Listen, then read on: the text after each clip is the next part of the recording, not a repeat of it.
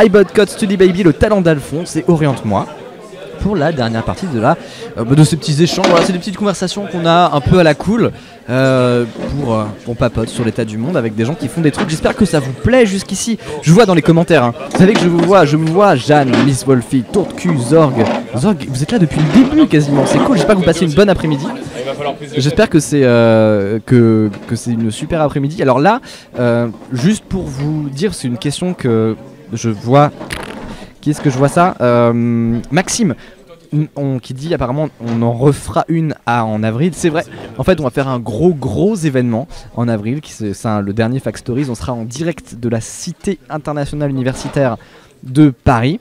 Et, euh, et puis euh, voilà, ça va être complètement fou. Et, et ça va être assez, assez chouette. Là, on sera parti pour 12 heures de live. 12 heures de... Et vous pourrez venir, a priori. Et ça va être très sympathique. Euh, voilà. Non, J'espère que vous vous mettez bien, que tout va bien pour vous. Est-ce qu'on a tout le monde dans le champ? Non, il y en a un. Il y en a, le monsieur n'est pas. Avant, avance-toi, oui. Ah, avance-toi donc, regarde. Hop là. Allez. C'est parti. Alors, bon bah, eh, vous savez quoi? On va repartir sur un petit tour de table. Qui commence? Présenta- bon, alors, Présentez-vous et votre assaut euh, brièvement mais efficacement. On est galant normalement, c'est les filles qui commencent. Allez, enfin bon. C'est vrai. le, char- le charmeur. Alors moi c'est Abdel, donc euh, je suis euh, président de d'Oriente-moi. Ok. Euh, Oriente-moi, donc c'est une, asso- une association qui existe depuis deux ans et qui a pour objectif d'accompagner les élèves, euh, les lycéens pour l'instant, dans leur choix d'orientation scolaire. Donc nous ce qu'on souhaite c'est des personnes orientées et qui soient épanouies dans leur futur euh, travail. Est-ce que ça voudrait dire que les conseillers d'orientation ne font pas bien leur boulot? On peut pas dire ça, c'est qu'ils ont peut-être euh, des, euh, des moyens pas assez, euh, comment dire, euh, pas assez importants pour euh, l'immense travail qu'ils ont à faire, parce que l'orientation c'est vraiment euh, euh, rentrer dans, le, dans la sphère de chaque élève. Et euh, moi personnellement, mon expérience, euh, euh, le conseil d'orientation que, que j'ai rencontré au collège ne m'a pas, euh, euh, déjà j'ai pas fait l'orientation qu'on m'a proposée, qu'on m'a. Qu'est-ce qui t'avait proposé Euh, je m'en souviens pas trop en fait, euh, mais. euh, Tu m'étonnes. mais euh, en fait, je suis ressorti avec plus de questions que de réponses. Euh, et donc voilà, c'était. euh, donc pour qu'une personne puisse rentrer dans la sphère de chaque élève, c'est assez compliqué, surtout en, en très peu de temps. On a à peu près un conseiller d'orientation pour 1500 élèves, donc c'est c'est vraiment Léger. très très peu. C'est à léger. fait. Ok. Voilà. À côté de toi, à ta Alors, droite. La droite. hein. C'est Bulan du coup. Enchanté. Bah, salut à tous. Euh, Salut Bulan. Bonjour. Bonjour. On passe ensemble. Donc, euh, alors moi c'est euh, iboycott.org. Donc euh, c'est euh, une invitation à la consommation citoyenne. Donc euh, nous c'est on développe une plateforme euh, participative de création de campagnes de boycott. Donc euh, nous on s'est rendu compte que voilà euh, notre façon de consommer c'est un acte citoyen. Mm. Et donc euh, dans une société de consommation, le consommateur a un, un pouvoir extraordinaire qu'il doit utiliser d'une manière euh, responsable et solidaire. Donc c'est euh, le boycott. Donc euh, Et vous boycottez quoi pour l'instant? Allez, des noms, des noms, des noms, on veut des noms. je, je m'attendais à cette question. non, mais c'est pas, on n'a pas vraiment commencé encore dans le sens où le, la- le lancement de la plateforme, c'est le 4 juin 2016. Cool. Donc là, peut-être que vous commencerez à avoir des noms, mais euh, voilà. Quel genre on- on- enfin, J'imagine que vous n'allez pas boycotter l'épicerie du coin. Non, en fait, nous, c'est vraiment par rapport aux, aux gros dérives qu'il peut y avoir Ouais. justement, euh, qui peuvent être commis par des grands acteurs Bah oui, économiques, des multinationales. Et, euh, Qui ne paieraient pas leurs impôts et qui voudraient devenir le premier supermarché en ligne, par exemple, des choses comme ça. bah, Par exemple. après, Ouais, on n'a pas dit de nom, mais. Moi, je ne dis pas de non, mais dans le sens où c'est un outil en fait qu'on veut mettre au, au- à la- au service de l'intérêt général, Mm. c'est-à-dire que qui va être au service des consommateurs, des citoyens, des associations. Mm. D'ailleurs, c'est pour ça qu'on est euh, on est soutenu par pas mal d'acteurs euh, engagés, que ce soit des associations, des, des web médias, des choses comme ça. Donc voilà, Ok, on va y revenir dessus. euh, pas de souci. Juste passer à ton voisin. Alors bonjour Barthélémy et Thibaut. Salut Euh, donc nous on a un projet les, les talents d'Alphonse qui, euh, qui permet en fait à tous les gens qui arrivent euh, à la retraite ou qui sont retraités euh, de vivre euh, pleinement, euh, pleinement leur retraite, de rencontrer de nouvelles personnes et de partager euh, leur passion.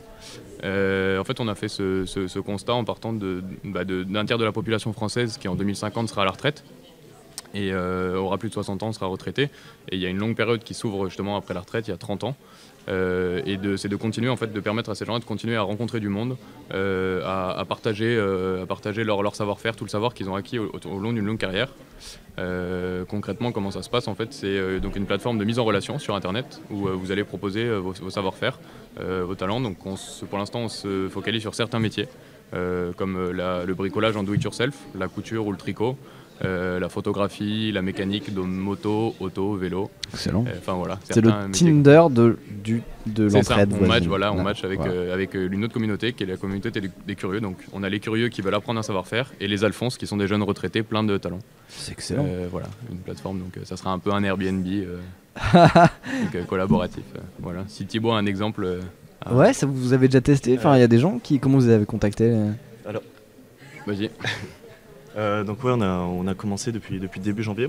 Euh, donc pour l'instant, on a sept euh, à la fois Alphonse et Alphonsine qui sont avec nous. Et donc bah, les exemples les plus courants, ce sont des personnes qui veulent se remettre à la couture, à faire leur propre création unique, tout en partageant un moment intergénérationnel. Et donc on a, Nicole, on a Gina qui, sont, à la retraite et qui, grâce à la plateforme, permettent de rencontrer plein de nouvelles personnes de tous âges pour faire leur propre création. Quelqu'un qui est revenu euh, d'Afrique avec, avec des tissus, qui, qui s'est fait euh, ses sacs, d'autres personnes euh, qui s'étaient acheté une machine à coudre mais qui ne savaient pas comment l'utiliser. Enfin, il y, a- il y a plein d'exemples euh, euh, de, de gens qui, ont- qui, qui reviennent un peu à- au loisir créatif. Euh, et de, de l'autre côté, donc tous nos Alphonses et nos Alphonsines, euh, qui sont une communauté euh, de retraités, mais très dynamique et, euh, et qui, voilà, qui veulent donner euh, du sens euh, à leur retraite. Et c'est ce qu'on essaie de proposer avec euh, les talents d'Alphonse. Excellent. Euh, et alors, ju- juste pour passer à Study Baby, donc, qui est euh, le projet qui est à votre droite. Bonjour. Parlez Alors. bien dans le micro. Esra et Aïda. Donc on présente Study Baby, on est une association qui euh, milite en faveur des parents qui deviennent étudiants et des étudiants qui deviennent parents. Donc voilà, nous on les aide euh, autour de trois activités, trois pôles, euh, qui sont l'aide administrative, tout ce, qui, tout ce qui est lié à leurs droits, à, leurs, à leurs avantages auxquels, auxquels ils pourraient prétendre. On, oui, on vient en aide aussi à, donc à cette euh, population euh, par des euh, aides financières. Et on, est aussi sur une création ouais, d'un réseau qui pourrait réunir justement les parents étudiants et des étudiants qui deviennent parents. Parce que ça, c'est un truc que j'ai découvert il n'y a pas longtemps. On avait fait la blague euh, à, à Lille la semaine dernière, quand on Ouais. a fait le Fact Stories à Lille. Euh, on a vu qu'il y avait une, une crèche, quoi, avec une cour et avec des toboggans et tout. Donc évidemment, ça a permis de, de, de faire la blague. un Tiens, c'est donc. euh, non, on s'est dit que les Staps avaient du matériel qui était euh, à leur niveau. Pardon, je suis désolé, je suis Ah, tellement sportif. euh, que... Mais en fait, il y a des crèches. Il y en a une qui est au plein milieu de la fac de Caen ici. Il y en a une qui est en plein milieu de la fac de Lille. Je crois qu'il y en a dans quasiment toutes les facs, des crèches maintenant. Alors que c'est des problématiques qui sont pas forcément euh, Non, abordées, quoi. Ouais. Alors, le- en général, quand on parle de Study Baby, euh, ça renvoie directement à, au- à la garde des enfants.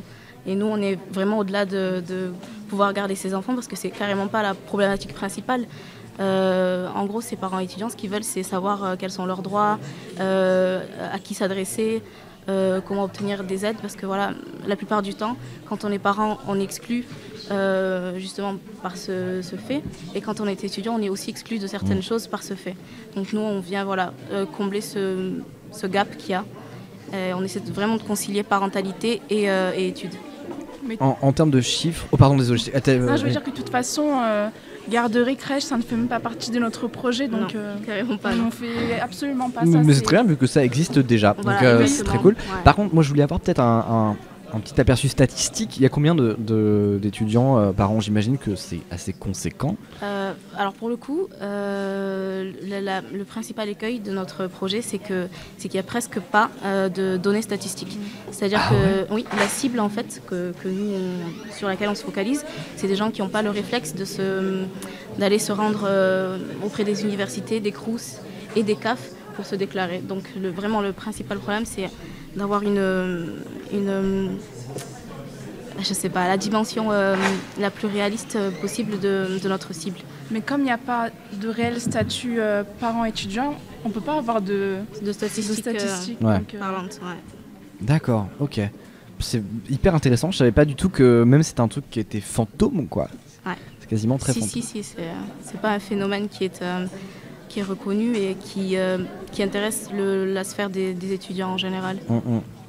Ok, d'accord. Moi, je, en fait, il y a un truc euh, qui est vaguement en commun que vous avez tous, euh, vous avez tous caressé comme problématique, c'est celle de la de la consommation aujourd'hui, quoi. C'est-à-dire de la place dans la société de consommation aujourd'hui. C'est très large parce que Orient de moi, bon, ça on le voit pas très bien le truc, mais euh, vous, Study Baby, on le voit pas très bien, mais il faut quand même se faufiler dans une société qui s'adresse entre étudiants et parents. Ouais, On n'est pas identifié par la société de consommation Ouais. générale. Il y a beaucoup d'acteurs qui, qui me passent par-dessus complètement. Non, Euh, et vous, du coup, vous deux, euh, avec Talent d'Alphonse et iBoycott, il y a quand même la volonté de réunir des, des forces vives euh, qui permettent de, bah, de, de consommer mieux, quoi. Exactement. Parce que consommer est un geste citoyen, en fait. Et pas anodin. Est-ce que vous voulez, on, on- on peut partir là-dessus, tout? Parce que moi, je serais vraiment curieux de, euh, de, de savoir, en fait, comment est-ce que euh, vous, vous voyez ça? Comment est-ce que vous vous adressez euh, aux, aux gens? Alors, ça peut être au, au public euh, jeune, étudiant, ça peut être aux, aux parents aussi qui ont des, des enfants. Enfin, aux parents qui ont des enfants, c'est bien sûr. Aux étudiants Aux qui ont des enfants, voilà, on va y et arriver. Aux parents qui reprennent leurs études. Et aux parents qui reprennent leurs études exactement. Comment est-ce que vous vous adressez à eux dans une société qui parfois ne leur laisse pas de place quoi? Pareil pour les retraités, il y a beaucoup de, de, de problèmes euh, avec eux en termes d'intégration euh, souvent. Tout à fait. Vu que la société considère, je crois, que les retraités sont morts en fait à Ouais. 65 ans, hein, mais cliniquement. Et, C'est ça. Nous, c'est notre but. euh, je pense qu'iBot Code sera peut-être le, le- le mieux placé pour parler de, de tout ce qui est des consommations. Et sur- Euh, nous, coup, dans, je- no- ouais. je- Ah, tu voulais. Ouais, juste pour nous, dans notre, de, de- de notre côté, c'est juste euh, comment euh, enlever cette étiquette, justement, euh, j'arrive à la retraite et pourquoi est-ce que je serais considéré comme mort alors que j'ai encore plein de compétences, plein d'énergie, j'ai encore euh, plus de 30 ans. Enfin, c'est super ce qui, ce qui se passe maintenant. Et justement, il faut changer et il faut changer euh, les mentalités. Donc ça, nous, on est tout à fait d'accord avec, euh, avec ça, de ne pas euh, que sectoriser certaines personnes parce que je suis à la retraite ou pas. Enfin, Mais est-ce que quand vous rencontrez des gens, en fait, euh, ils ont tellement intégré le fait qu'ils sont en dehors des cases que euh, ils vont pas vous solliciter directement et qu'ils sentent que ce serait un luxe un peu inutile et que c'est juste eux qui doivent le traverser. euh?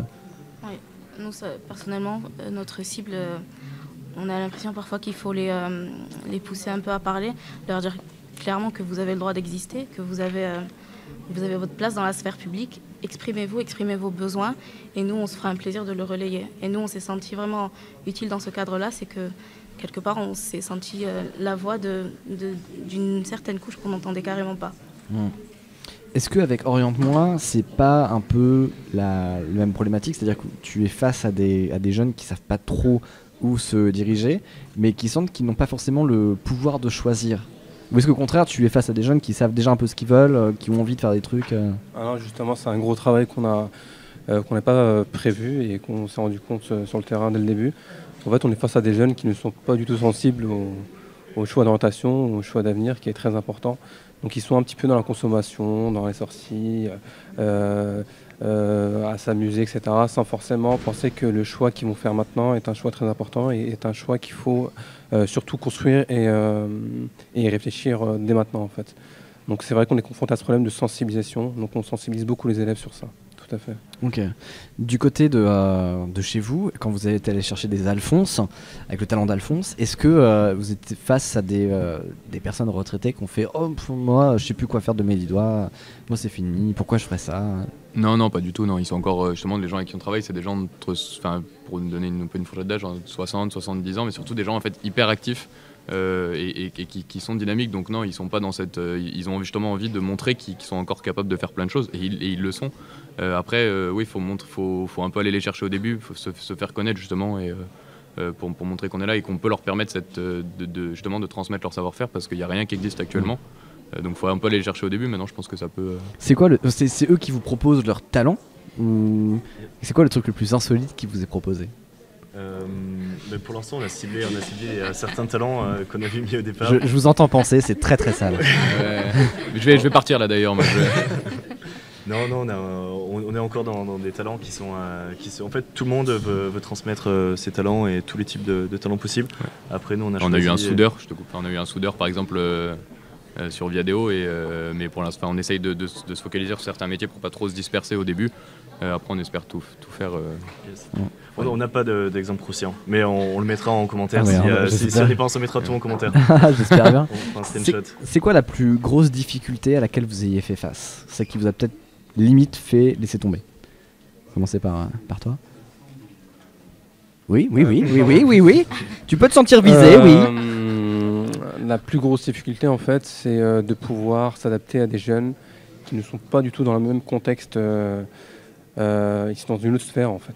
En fait, en tant qu'adulte ou même jeunes diplômés, on est, voilà, ils ont d'autres préoccupations, ils ont d'autres passions. voilà, ils sont donc une pédagogie vraiment euh, essayer d'amener des. Nous, on pensait qu'on allait ramener l'information, ramener les, intervenants, etc., et qu'ils allaient tout de suite euh, accrocher. À mais en fait- courir dans vos bras. et non, malheureusement, il faut les sensibiliser. Il y a une grosse piqûre de rappel sur, euh, sur beaucoup de, de choses. Et, euh, Comment tu fais ça, justement? Bah, c'est, on innove, euh, plein de, de- de programmes qu'on on essaye de, de développer. Là, par exemple, on va faire un partenariat avec une association qui s'appelle Vers la science.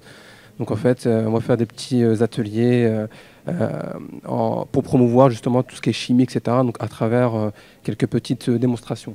Voilà, justement pour pouvoir montrer euh, les différents métiers euh, qu'il y a derrière, etc. Donc, voilà, les, les- les jeunes ont besoin de beaucoup de pratique, beaucoup de. La théorie, c'est, ça leur parle pas en fait. Ouais, ouais, ils ont besoin du concret. quoi.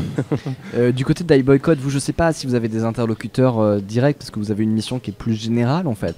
Euh, mais quelle était la plus grande difficulté que vous, euh, que vous ayez vue? Bah, pour nous, c'était intéressant dans le sens où, enfin, on a eu l'idée, donc on voulait la tester, donc on s'est dit on va faire un crowdfunding.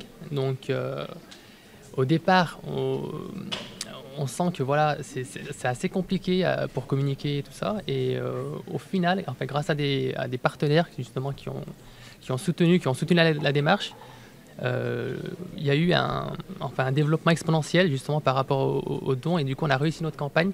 Et voilà, les débuts, c'était quand même assez, assez compliqué et par rapport à cette campagne. Et du coup, une fois que l'idée est lancée, c'est c'est plutôt, enfin, ça a accroché. Donc euh, voilà, c'est Ok. Vous avez collecté d'ailleurs Ouais, c'est ça. 150, euh, 150% dans ce que tu me disais. Enfin, 141%, Ah, et c'est du coup, cool, il y a eu ça. pas mal de donateurs.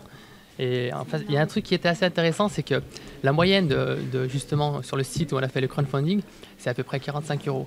Et donc en fait, on a, on a passé la moyenne à 25, euros, enfin, à 25 euros.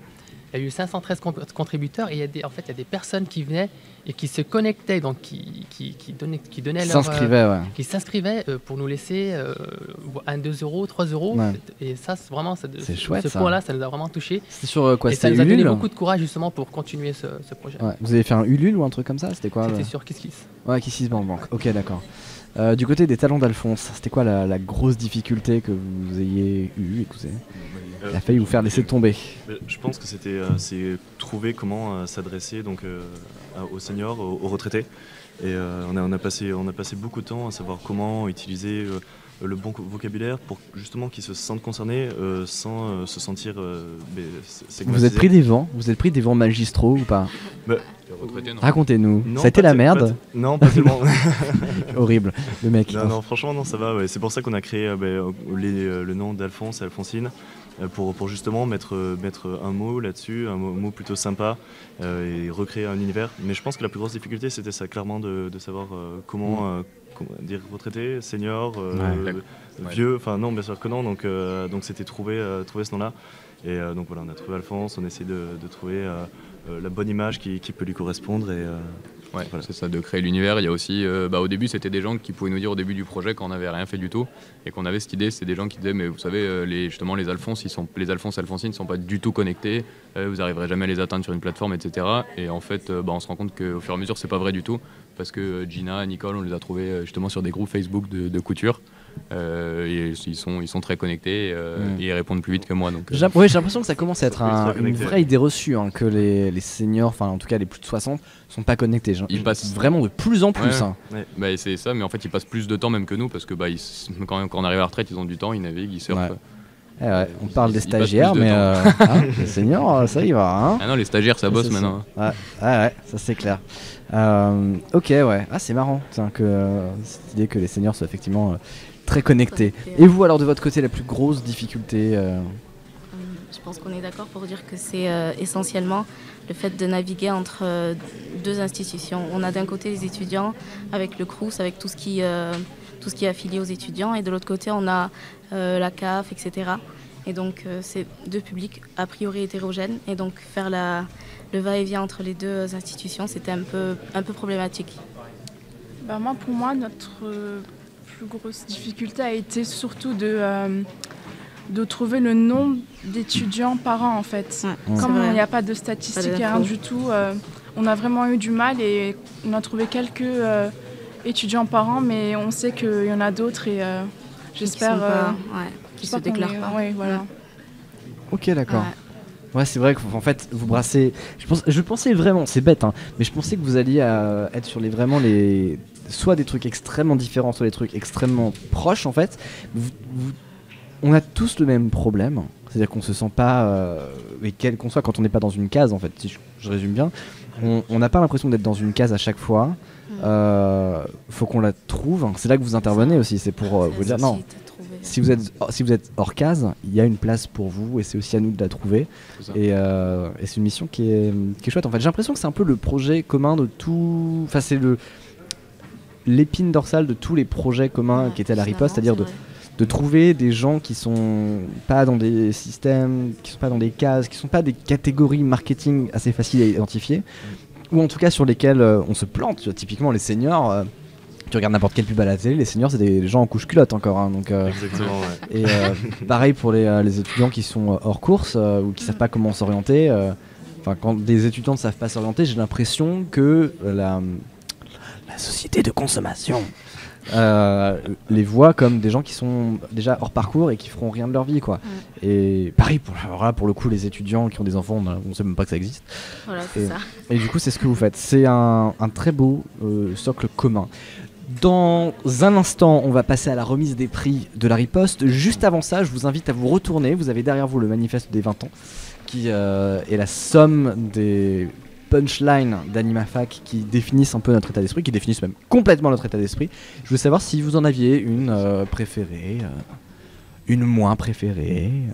Bah, on- avec Thibaut, on peut commencer, je pense. Enfin, on, on- on par- on en parlait justement tout à l'heure, et, euh, et c'est la 6, c'est au pire, ça marche parce que euh, on arrive sur la fin de nos études. Euh, on, a, on a fait des stages dans des grands groupes chez Vinci, chez Bouygues, ça nous a pas passionné, on n'était pas réellement motivés là-dedans.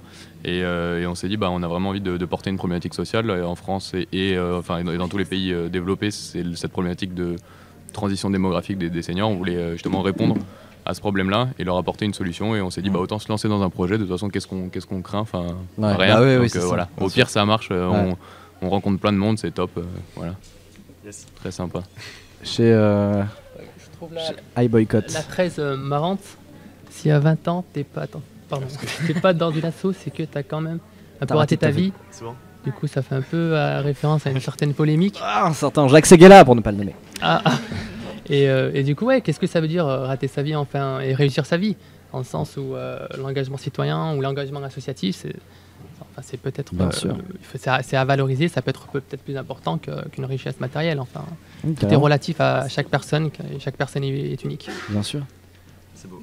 Chez vous, du côté d'orienté, nous Bah, pour moi, ce sera 9, enfin, je pense. Je la trouve euh, très très bien. J'ai vu tout à l'heure sur, euh, sur des pulls euh, des membres de d'AnimaFac. Donc je ne veux plus qu'on me euh, dise que je suis l'avenir, je suis le présent. Exact. Très bien. Ah non, mais c'est malin, bah oui. c'est la procrastination de l'existence. Ça cesse. Et euh, du côté de Study Baby Et nous, ce sera plutôt la 5. Ceux qui pensent que c'est impossible sont priés de ne pas déranger ceux qui essaient. Ouais, on est dessus. Merci beaucoup à vous tous d'être passés. Merci. Merci et, puis, toi. euh, et puis je pense que nous allons pouvoir procéder. Ah oui, alors ça, je pense que ces applaudissements que vous recevez de façon très égoïste euh, sont valables pour absolument tous ceux qui sont, tous ceux et toutes celles qui sont passés avant et qui vont peut-être recevoir euh, un prix euh, ou oui un prix, un prix des, des bons sous. Je pense que pour présenter cette remise des prix, on peut peut-être invoquer le président du jury, Baptiste, mon bon Baptiste, installe, installe-toi s'il te plaît au- au milieu au milieu. Oui, on fait un petit peu de déménagement surprise. J'espère que ça va bien chez vous. C'est l'heure de la remise des prix. Bonsoir. Bonsoir Baptiste. Est-ce que, tu veux, est-ce que tu veux que je te fasse un petit écho rigolo? J'adore. Allons-y. Bonsoir. Génial, cette petite réverbération, j'adore. Voilà, Euh, alors, que- qu'est-ce que c'est que cette, euh, enfin qu'est-ce que c'est que cette remise des prix? C'est une remise des prix. Ouais. Mais raconte-moi un peu comment ça va se passer.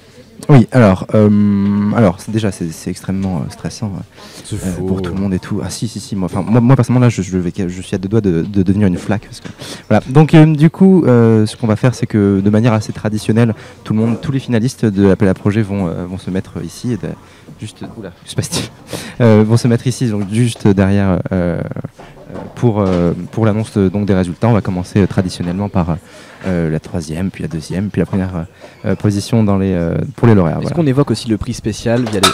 Oui, alors Viadeo, euh, Viadeo, oui, on a, on a la chance pour la, la- deuxième année d'avoir euh, euh, noué un partenariat avec Viadeo euh, qui, euh, en gros, nous a permis de faire voter le public et les utilisateurs de la plateforme sur leur site et qui a donc récompensé euh, cette année un, un projet parmi les, euh, les finalistes. Je ne sais pas si je le dis maintenant. Si, si, si, c'est Ouais, ça. Donc le projet euh, récompensé par les, les internautes et les abonnés, les membres de la communauté Viadeo, c'est le projet Les Talents d'Alphonse. Allez, on peut les les applaudir. Talents d'Alphonse qui ont donc On a remporté, fait ça un peu qui ont donc remporté le l'appel à, à, à projet. Oui. à projet. Ah oui, si, bah, prenez une petite chaise. On est d'attendre. Venez.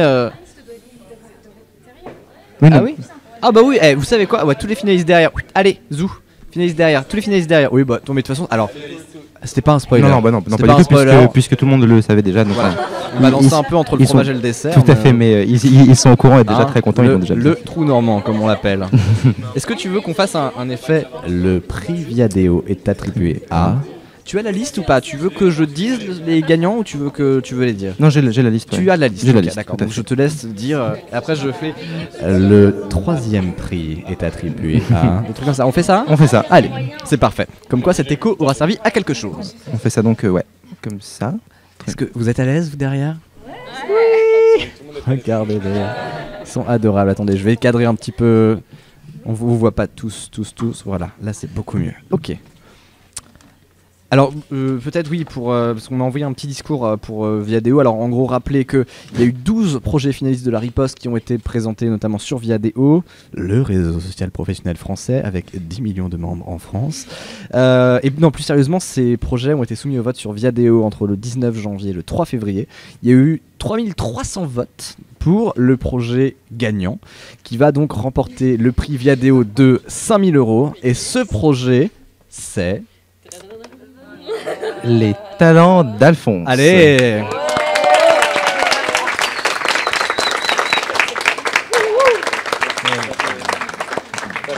C'est votre chèque. Je vous le remets, c'est un peu compliqué, mais. Est-ce que, vous- un petit- Et Julie, euh, ouais. est-ce que vous voulez faire un petit mot un... Dire Ouais, un petit mot un vite petit un, un- un petit mot vite fait, oui.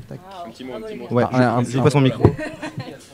Donc déjà, on tient, à, on tient à remercier en premier lieu euh, AnimaFac, euh, donc euh, le concours euh, La Riposte euh, et Viadeo, euh, parce que donc euh, ce concours, ça nous a permis aussi donc euh, de nous faire connaître. On a eu euh, plein plein de messages en, en messages privés sur euh, sur Viadeo, des, gens qui ont voté, et c'était ultra intéressant de, de final de rentrer euh, comme ça en contact avec autant de personnes. Et on est on est super content et merci beaucoup et merci à tous ceux euh, qui ont voté.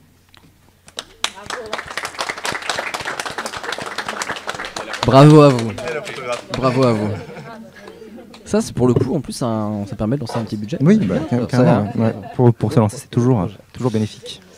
Euh, alors, restent les donc trois prix à annoncer. Donc, euh, ce sont des chaque euh, lauréat gagne euh, une somme d'argent. Ok, c'est ça? Tout à fait. Euh, Est-ce que tu peux nous en dire euh, comment ça s'est passé un peu le jury Le jury, alors le jury, euh, en fait, voilà, donc on, a- reçu éno- énormément de, candidatures pour l'appel à projet.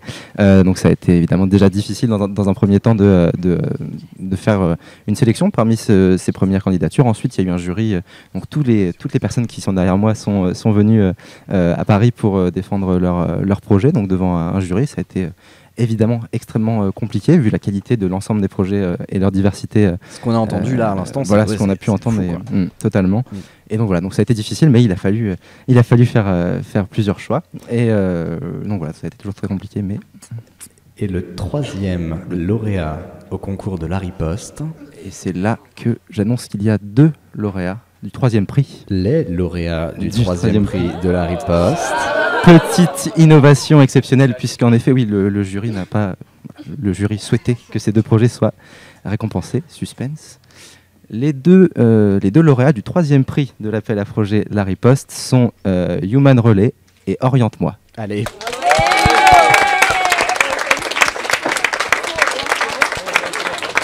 Un petit mot, il y a plusieurs micros. euh. Regarde, ils sont déjà, ils sont déjà ensemble. Ils ont fait tout le boulot. Non, ils sont, ils sont côte à côte. Voilà, un petit mot au micro les deux. Alors il y a la photo déjà évidemment pour commencer. Oh, ils sont beaux, regardez comme ils sont beaux. Vous êtes en train d'assister à la remise des prix de la Riposte si vous venez d'arriver. Euh, la remise des prix de la Riposte qui était un grand appel à projet euh, d'AnimaFac pour lancer des projets euh, fous qui vont permettre de changer le monde. Est-ce que vous pouvez euh, dire un petit mot au micro vite fait peut-être? Bon, bah, comme euh, les termes d'Alphonse, on tient à remercier euh, tout d'abord AnimaFac pour leur super animateur, l'équipe vraiment superbe, Viadeo, euh, l'ensemble des personnes qui ont voté pour nous.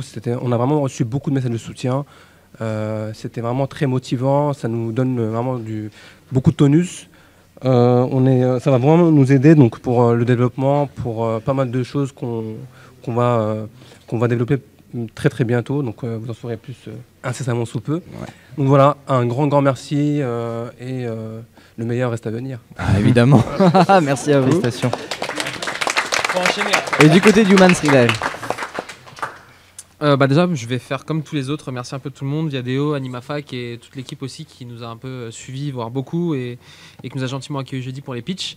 Merci à tous ceux qui ont aussi laissé des messages sur Viadeo, c'est vrai qu'on en a reçu aussi beaucoup. Et euh, bravo aussi peut-être à tous les autres, parce qu'il y a des beaux projets, des projets que je connaissais pas forcément et qui méritent, je pense, d'être euh, médiatisés, soutenus et avec ou sans d'ailleurs résultat au concours. Et, voilà, je terminerai juste par la petite phrase classique qu'on met à chaque fois maintenant, c'est on ne peut pas aider tout le monde, mais tout le monde peut aider quelqu'un, donc pensez-y. Oh. Bravo. Alors bravo à vous. On passe directement à la suite. Et oui. Le deuxième prix Viadeo. Euh, pardon, le deuxième prix Viadeo. Il n'y a pas de deuxième prix Viadeo. Le deuxième prix de la riposte est attribué à. Et le deuxième prix est attribué au LAP.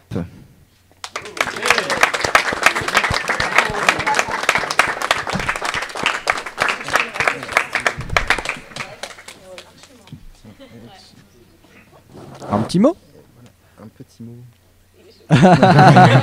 Ça, c'est les Bretons. Ça, c'est l'humilité bretonne. Ça, ça se reconnaît bien.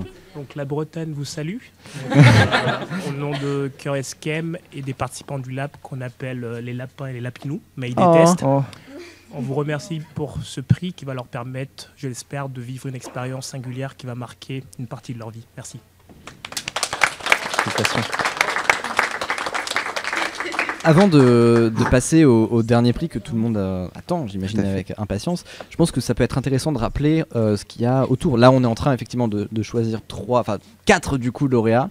Euh, et, mais en fait, toutes ces associations, tous ces projets qui ont, que vous avez vus là, vont être accompagnés pendant euh, plusieurs mois, je crois huit mois, c'est ça, Baptiste? Oui, c'est ça. Enfin, dit, dit, on, a en fait un, accompagnement qui va être proposé à tous les finalistes, évidemment, puisque en effet, c'est pas un appel à projet auquel on a candidaté. Et puis, euh, une fois que euh, c'est gagné ou, ou pas, c'est fini. Voilà, on, An- AnimaFac est aussi là pour faire de l'accompagnement et pour être auprès, de, auprès des associatifs et, des, et des personnes qui, ont, qui, qui portent ces, ces projets. Donc, voilà, donc après, on, est là sur différentes thématiques. Il y a les, accompagner peut-être à, à essaimer leur projet et à faire en sorte qu'ils naissent sur de, sur de nouveaux territoires, le, le faire grandir, le professionnaliser. Il y a des milliards de choses à, à faire et, euh, et on, est, on, est, on est- on est aussi très content de les faire avec eux.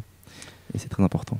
Et donc, le premier prix de la riposte est attribué à. Le premier prix de la riposte est attribué au projet Caméléon.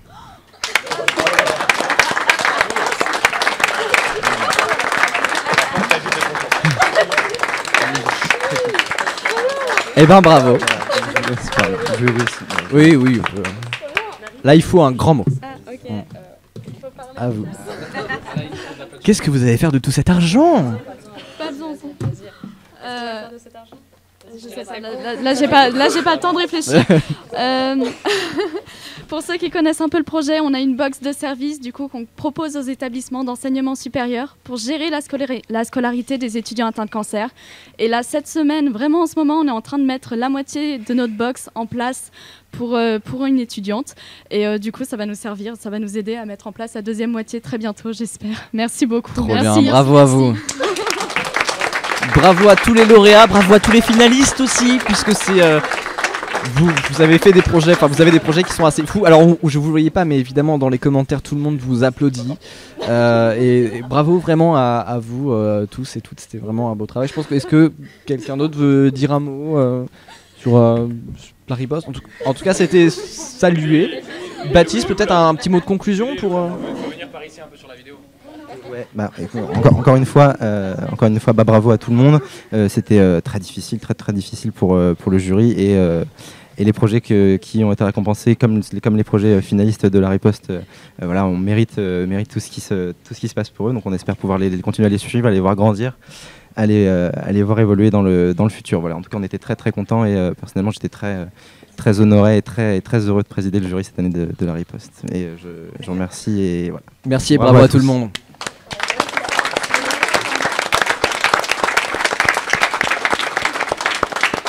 Et bravo à tous les projets qui ont été présentés. Merci beaucoup Baptiste d'être passé euh, là tranquillement après nous avoir parlé de, de musique, de cinéma, d'heures, de bonheur tout à l'heure, rien du tout, de magazine. Merci beaucoup à vous tous, à vous toutes aussi pour Bravo votre encore. soutien, pour vos projets et voilà on vous souhaite euh, tout le bonheur et puis je pense que du coup on se recroisera à l'occasion.